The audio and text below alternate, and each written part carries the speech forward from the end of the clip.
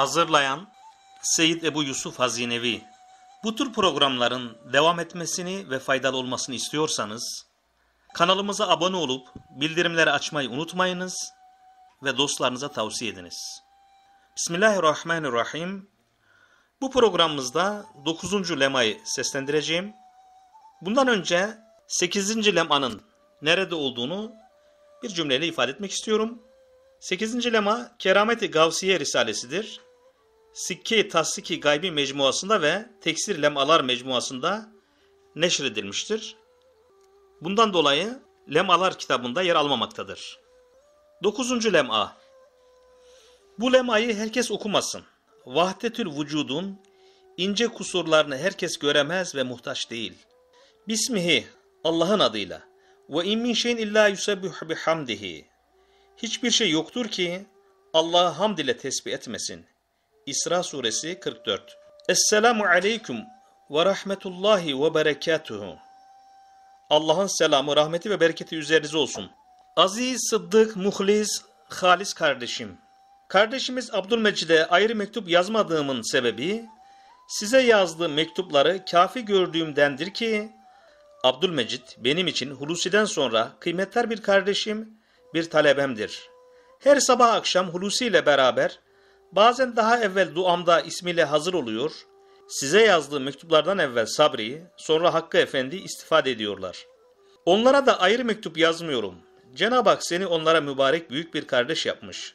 Sen benim yerime Abdülmecid ile muhabere et.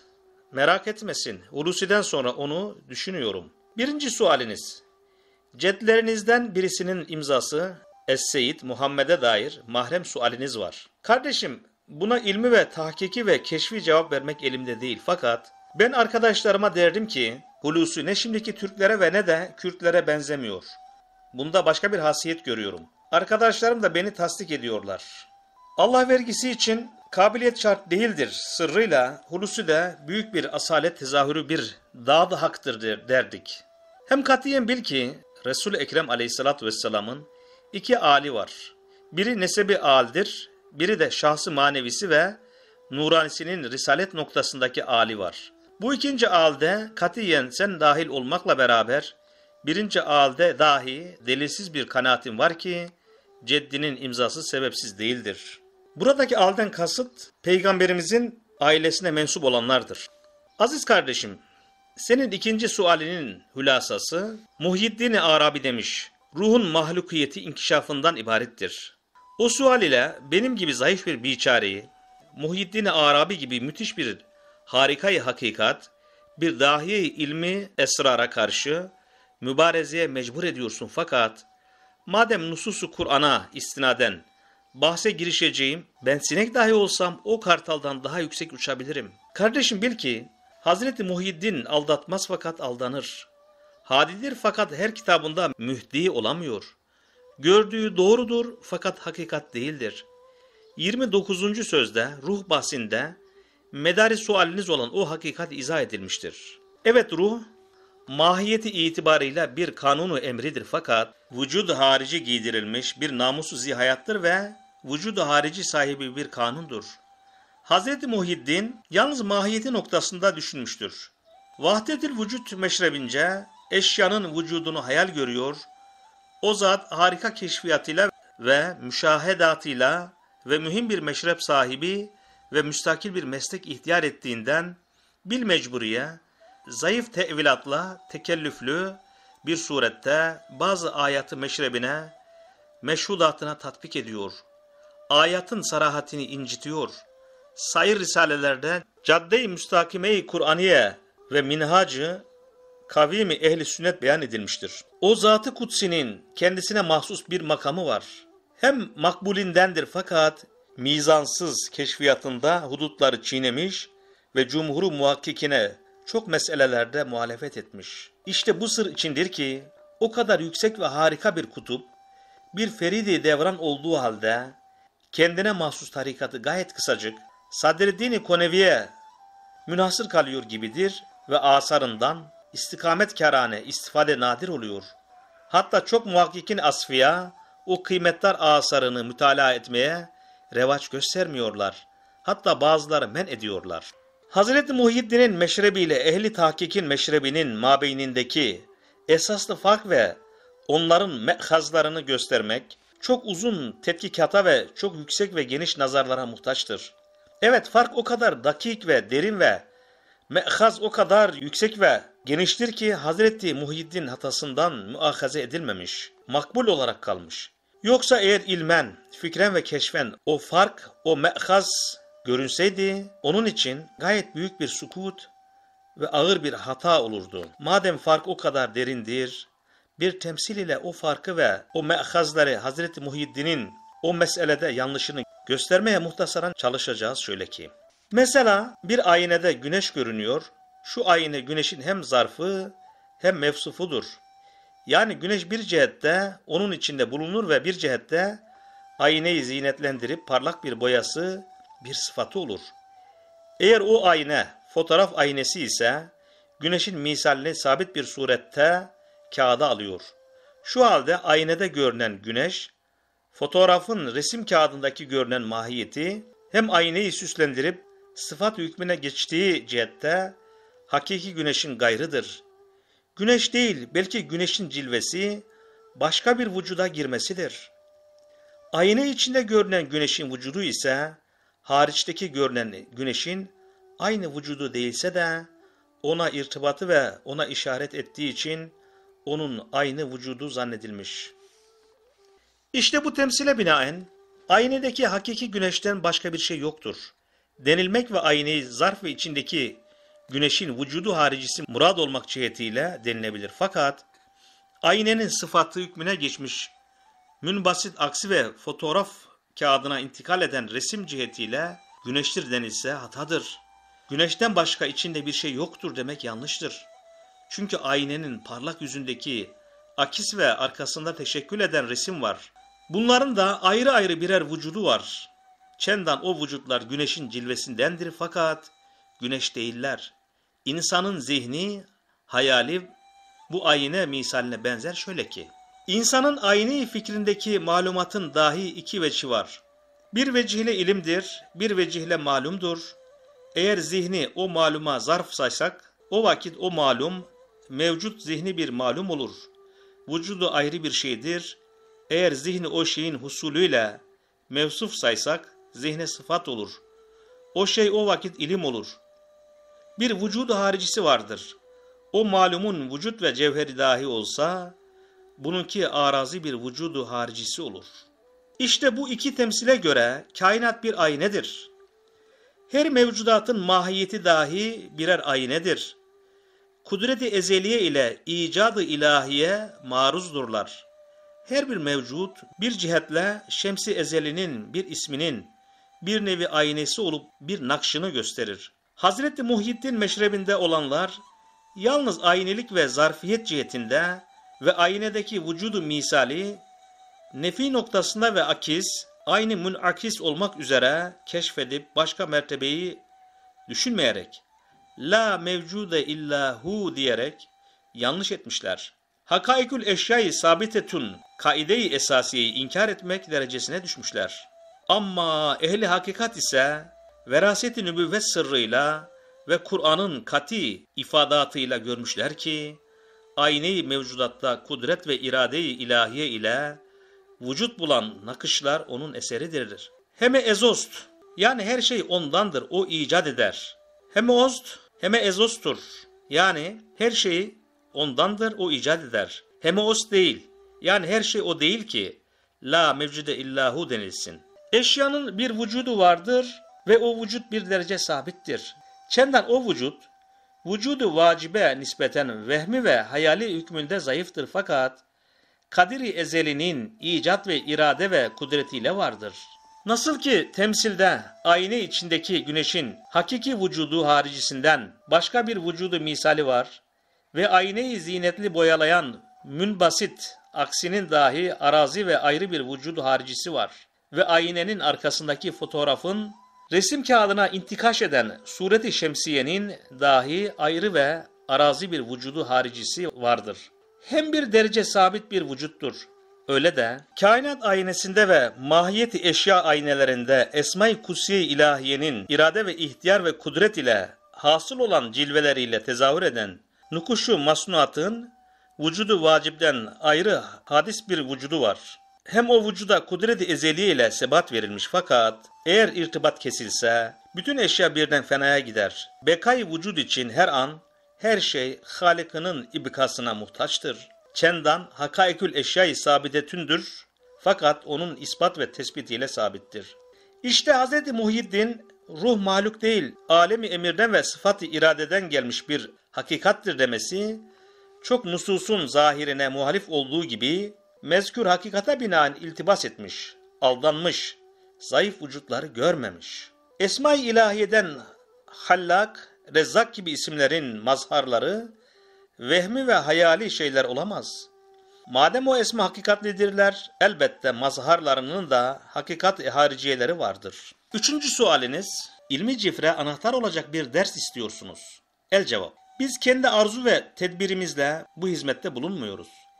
İhtiyarımızın fevkinde bize daha hayırlı bir ihtiyar işimize hakimdir. İlmi cifir, meraklı ve zevkli bir meşgale olduğundan vazife-i hakikiyeden alıkoyup meşgul ediyor.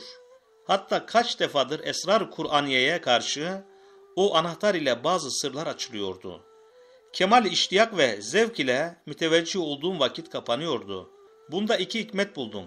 Birisi, La ya'lemul gaybe illallah. Gaybi yalnız Allah bilir. Nemil 65. Yasağına karşı hilaf-ı edepte bulunmak ihtimali var.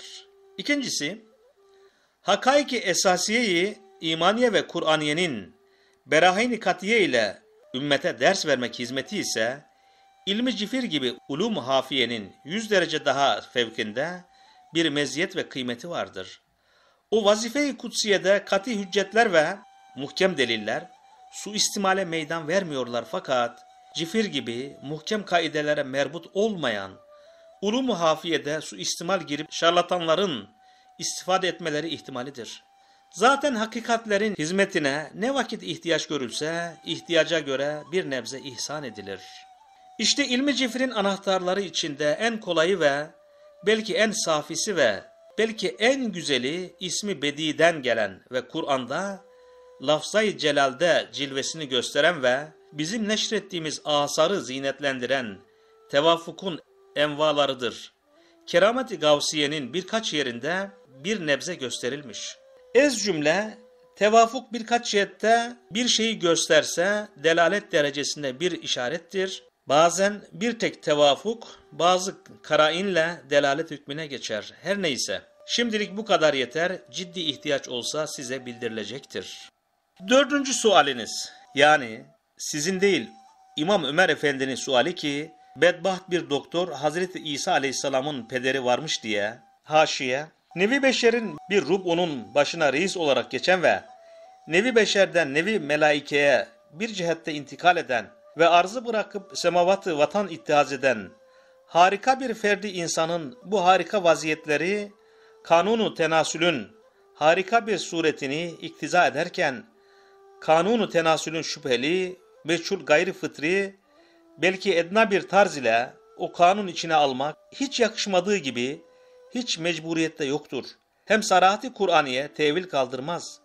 Yüz cihette zedelenen kanunu tenasülün tamiri hesabına hiçbir cihette zedelenmeyen ve tenasülün haricinde bulunan kanunu cinsiyeti melek hem kanunu sarahati Kur'aniye gibi kuvvetli kanunlar nasıl tahrip edilir? Hazreti İsa Aleyhisselam'ın pederi varmış diye divanecisine bir tevil ile bir ayetten kendine güya şahit gösteriyor. O biçare adam bir zaman hurufu mukatta'a ile bir hat icadına çalışıyordu. Hem pek çok hararetli çalışıyordu. O vakit anladım ki o adam zındıkların tavrından hissetmiş ki hurufat-ı İslamiye'nin kaldırılmasına teşebbüs edecekler. O adam güya o sele karşı hizmet edeceğim diye çok beyhude çalışmış. Şimdi bu meselede ve hem ikinci meselesinde yine zındıkların esasat İslamiye'ye karşı müthiş hücumunu hissetmiş ki böyle manasız tevilat ile bir musalaha yolunu açmak istediğini zannediyorum. Bismillahirrahmanirrahim. İnne mesele İsa indallahi kemesele Adem. Yani Allah katında İsa'nın misali Adem'in misali gibidir. Ali İmran 59 gibi nususu katiye ile Hz. İsa aleyhisselam pedersiz olduğu katiyeti varken tenasüldeki bir kanunun muhalefetini gayri mümkün telakki etmekle, vahi tevilat ile bu metin ve esaslı hakikati değiştirmeye teşebbüs edenlerin sözüne ehemmiyet verilmez ve ehemmiyete değmez. Çünkü hiçbir kanun yoktur ki şuzuzları ve nadirleri bulunmasın ve haricine çıkmış fertleri bulunmasın ve hiçbir kaide-i külliye yoktur ki harika fertler ile tahsis edilmesin. Zaman Adem'den beri bir kanundan hiçbir fert şuzuz etmemek ve haricine çıkmamak olamaz. Evvela bu kanunu tenasül mebde itibariyle 200 bin enva hayvanatın mebdeleriyle hark edilmiş ve nihayet verilmiş. Yani en evvelki pederleri adeta Ademleri hükmünde 200 bin evvelki pederler kanunu tenasülü hark etmişler.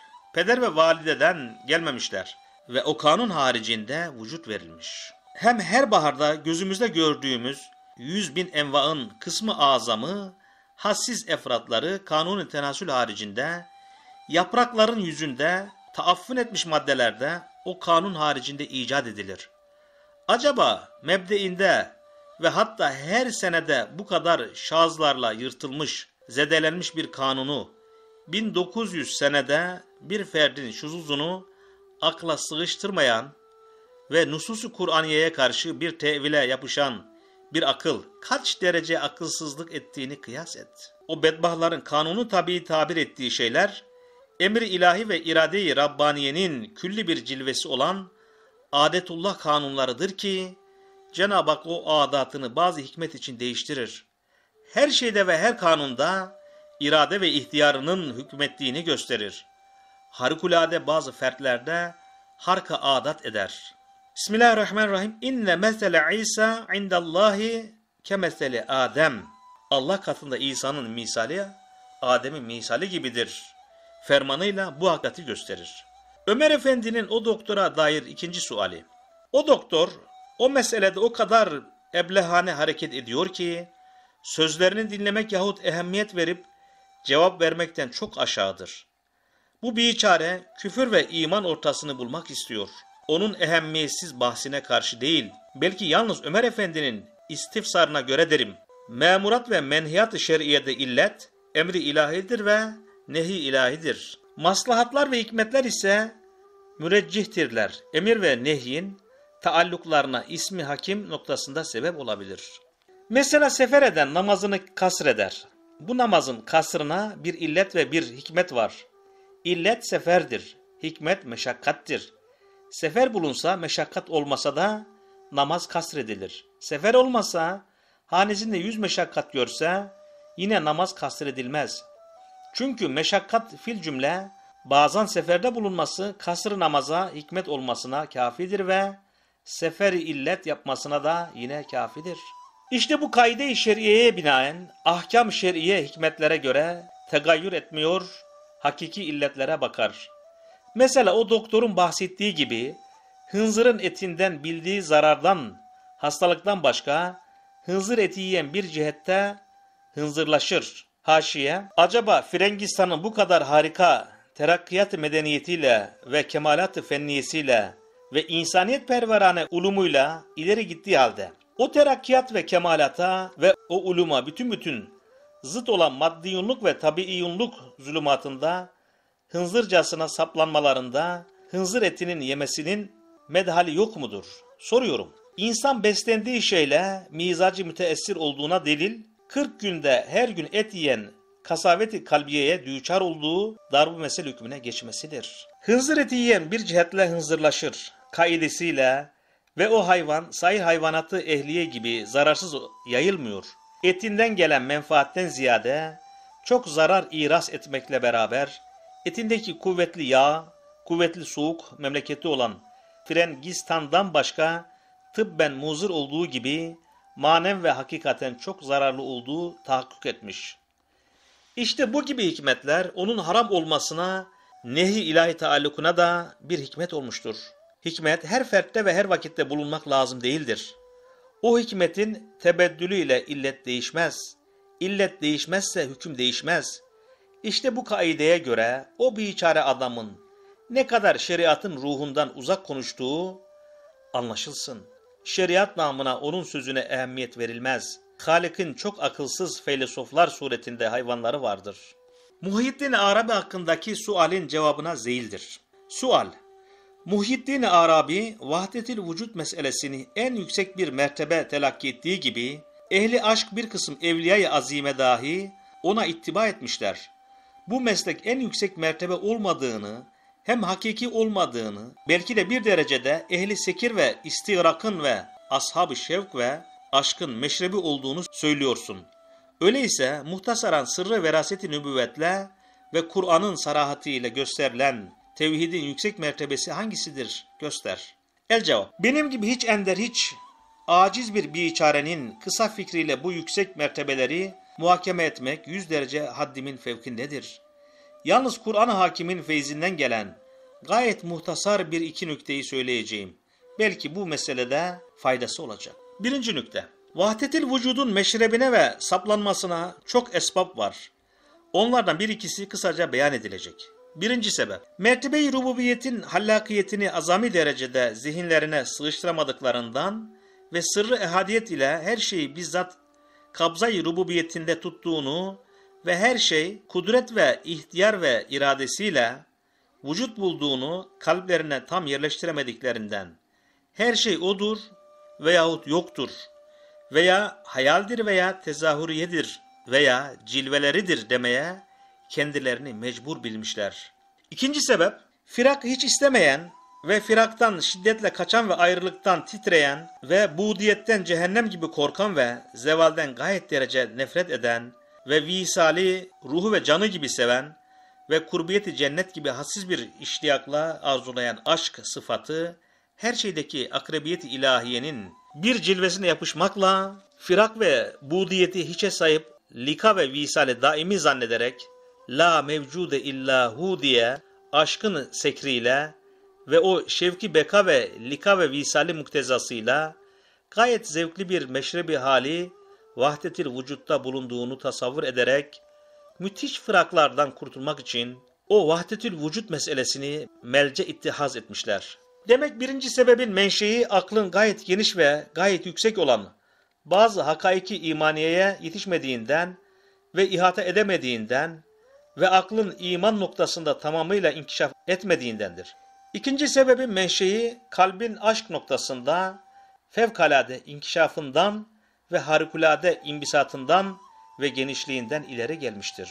Ama sarahat-ı Kur'aniye ile veraset-i nübüvvetin evliya-i azimesi ve ehli sahaf olan asfiyanın gördükleri mertebe-i uzmayı tevhid ise hem çok yüksektir hem rububiyet ve hallakiyeti ilahiyenin mertebe-i uzmasını hem bütün esma-i ilahiyenin hakiki olduklarını ifade ediyor ve esasatı muhafaza edip ahkam-ı rububiyetin muvazenesini bozmuyor. Çünkü derler ki Cenab-ı Hakk'ın ehadiyeti zatiyesiyle ve mekandan münezzehiyetiyle beraber her şey bütün şu unatıyla doğrudan doğruya ilmiyle ihata ve teşhis edilmiş ve iradesiyle tercih ve tahsis edilmiş ve kudretiyle ispat ve icat edilmiştir.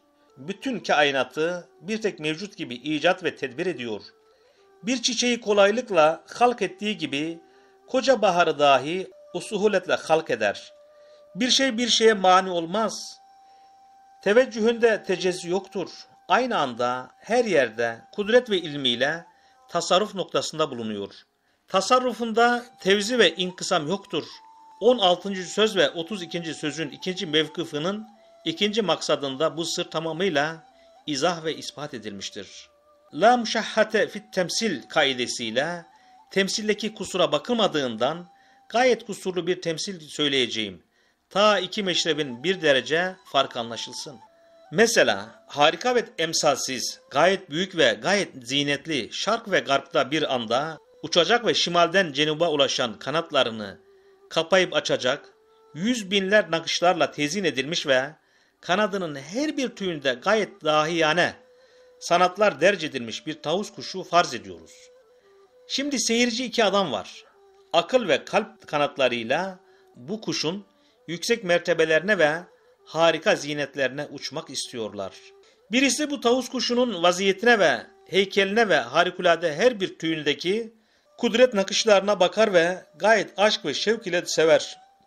Dakik tefekkürü kısmen bırakır ve aşka yapışır fakat görür ki her gün o sevimli nakışlar tahavvül ve tebeddül eder. Sevdiği ve perestiş ettiği o mahbublar kaybolur, zeval buluyor. O adam kendine teselli vermek ve aklına sığıştıramadığı vahdet-i hakikiyle rububiyeti mutlaka ve ehadiyeti zati ile hallakiyeti külliyeye malik bir nakkaşın bir nakşı sanatıdır demek lazım gelirken o itikad yerine bu tavus kuşundaki ruh o kadar alidir ki onun sani'i onun içindedir veya o olmuş. Hem o ruh vücuduyla müttehit, vücudu ise sureti zahiriye ile mümteziç olduğundan o ruhun kemali ve o vücudun yüksekliği bu cilveleri böyle gösterir. Her dakika başka bir nakşı ve ayrı bir hüsnü izhar eder.